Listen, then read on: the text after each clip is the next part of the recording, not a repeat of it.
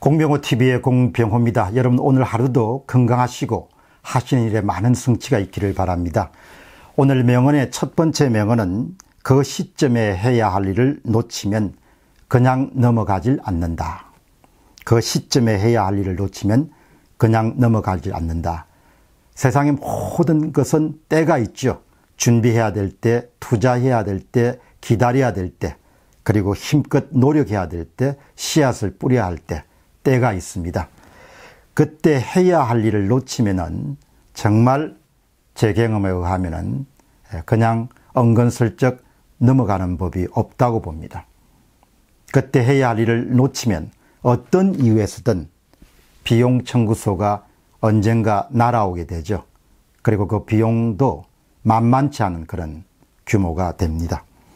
그리고 오늘 여러분 사시면서도 내가 지금 해야 하는 일이 무엇인가 이런 질문을 항상 여러분에게 던지시면서 여러분이 하셔야 될 일을 아주 알차게 힘껏 잘 하는 그런 하루가 되시길 바랍니다.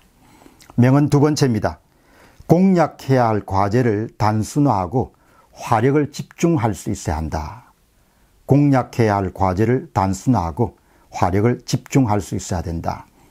도전해야 될 과제를 명확히 하라는 이야기죠. 도전해야 될 과제가 여러 가지가 있으면 그 가운데 먼저 뭘 해야 되는지를 우선순위를 명확히 정하라는 이야기죠. 그런 다음에 우선순위가 높은 것 순서대로 하나하나씩 집중해서 힘껏 일을 추구해 나가는 것이 일을 잘하는 방법입니다. 우리가 공부를 하고 일을 하고 가사를 하고 그 다음에 뭐 세일즈를 하고 모든 일을 할 때는 일을 참 잘하고 싶습니다. 쉽게 이야기하면 성과가 높은 성과를 거두길 원합니다. 어떻게 하면 높은 성과를 거둘 수 있을 것인가? 오늘 말씀드린 명언이 그 해답입니다. 단순화하고 집중한다. 세 번째 명언입니다. 삶이 본래 쉬울 수 없고 만만할 수가 없다.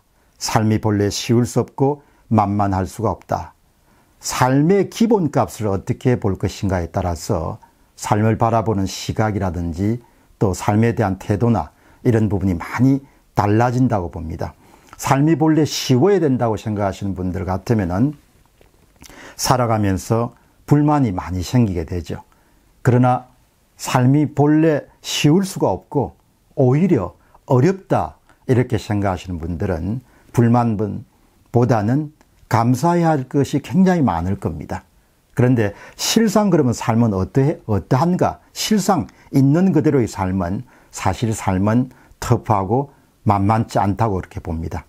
그렇기 때문에 항상 본래 어렵기 때문에 예, 그 어려운 부분을 있는 그대로 받아들이면서 여러분이 생활하시면 하루에 하루 아마 감사하는 그런 나날이 이어질 것으로 봅니다.